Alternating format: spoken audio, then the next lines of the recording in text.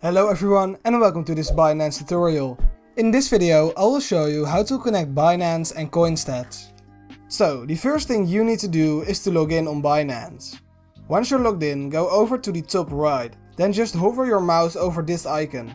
Once you've got this pop-up, click on API Management. You'll then be sent over to a page looking similar to this one. Right here you'll need to create the API key. Now you'll need to give your API key a name, so I will go with CoinStats. Once you have filled in the name, click on Create API. You'll then need to go through the security verification process. Once you have filled in everything you need to fill in, click on Submit.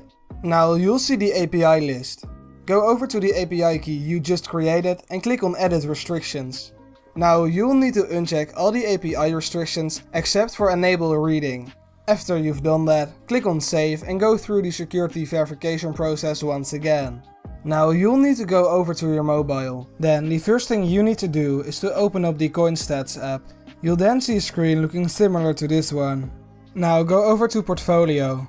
On this screen you can choose between Add Manual Transaction, Connect Exchange and Connect Wallet. We're going with Connect Exchange. You'll now need to select the exchange you want to connect with. Depending on in which country you live, select the right Binance. So if you live in the United States, click on Binance US and otherwise click on Binance. So in my case I'll go with Binance. You'll now see the scan QR code button. So click on that button. CoinStats will most likely ask you for permission to your camera, so click on OK.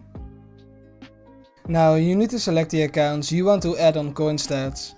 So I will deselect isolated margin account and futures account, since the only account I want to track is my spot account. If you have selected the right accounts, click on add accounts.